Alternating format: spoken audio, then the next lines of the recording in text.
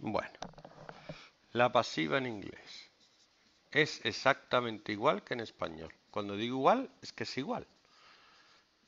Que es muy difícil. Es lo mismo. La gran parte de la gente que falla en la pasiva en inglés es porque no sabe bien el español. ¿Cómo es la pasiva en inglés? Mm, en español sería Juan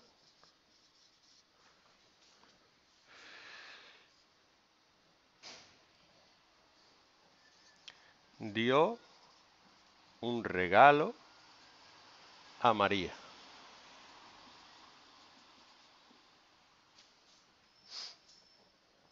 Este es el sujeto, un regalo es el complemento directo y a María es el complemento indirecto.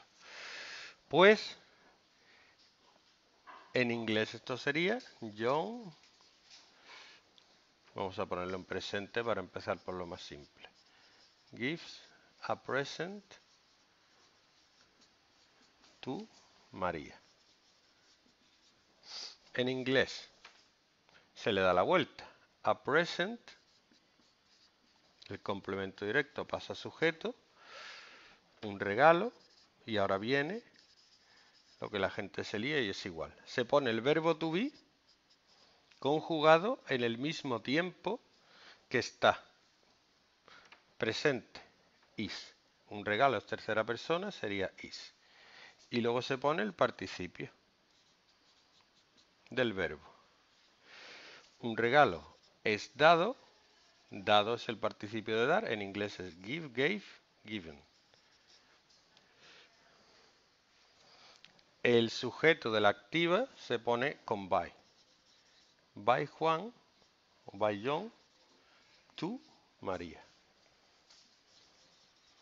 Una vez entendida la estructura, lo único que hay que cambiar es esto dependiendo del tiempo en el que esté la oración. Entonces, si yo, por ejemplo, lo quiero poner en presente continuo, sería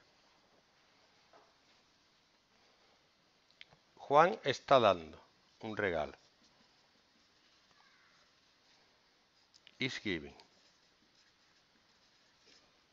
A present. Y ahora, ¿cómo se pone el verbo to be en, en presente continuo? Is being. Está siendo.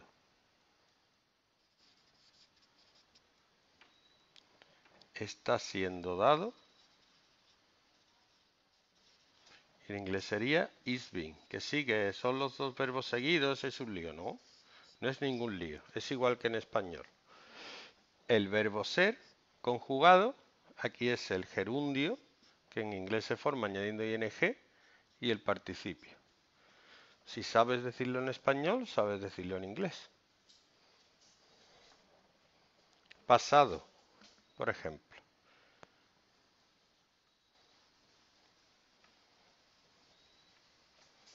Juan dio. John gave.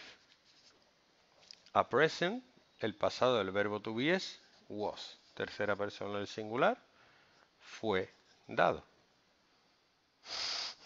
A present was given by John to Maria. Maria, I just met a girl named Maria, and suddenly I know.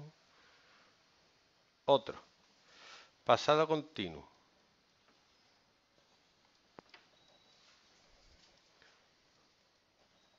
Juan estaba dando un regalo a María. John was giving a present. Un regalo. Estaba siendo dado. was being given. Estaba siendo dado. Pasado. Más present perfect.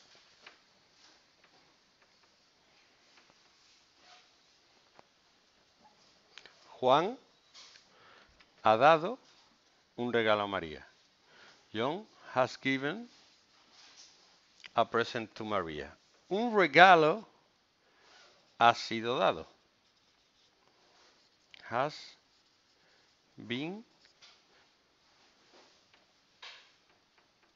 Been ha sido. ¿Dos participios seguidos? Pues igual que en español. Y esos son los verbos que te van a poner a ti.